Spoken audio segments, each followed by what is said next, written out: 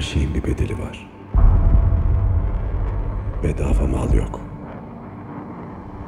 Ne insanı, ne hayvanı. Ölmek kolay, öldürmek daha da kolay. Zor olan görevini yapmak. Yanındaki adamı yaşatmak. Eve tek parça dönmek. Bu yol yufka yüreklerin yolu değil. Neden beni kurtarmanızı istediler? Fark eder mi? Kariyerim boyunca sizin karşıtınız yazılar yazdım. İyi halt ettin. Bekir. Kusura bakmayın. Özel kuvvetler onu kavgadan çıkardı ama kavgayı ondan çıkaramadı. Bizim fikrimiz, görevimiz. O da Ceyda Balaban'ı Irak'tan çıkarmak.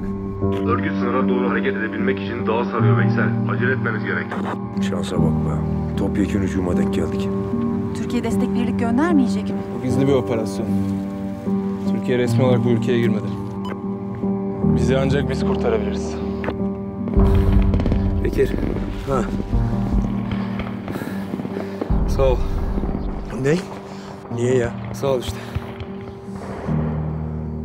Bunlara alışık değilim be ben poşet. Uzun ukala tarih keyikleri beklerim senden. Böyle Hunlar, Habeşler, Hititler filan. Habeşi. Ne? Habeşi denir ona. İşte böyle amına koyayım.